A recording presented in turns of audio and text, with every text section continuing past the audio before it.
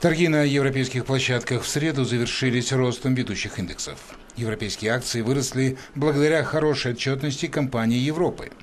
Нефть сорта Brent подорожала на 87% до 104 долларов 88 центов, а американская легкая нефть на 41% до 89 долларов 58 центов за баррель.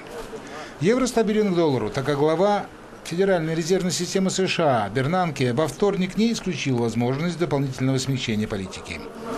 При закрытии торгов на валютной бирже во Франкфурте курс американо-европейской пары зафиксирован на отметке 1 доллар 22 и 51 цента за 1 евро.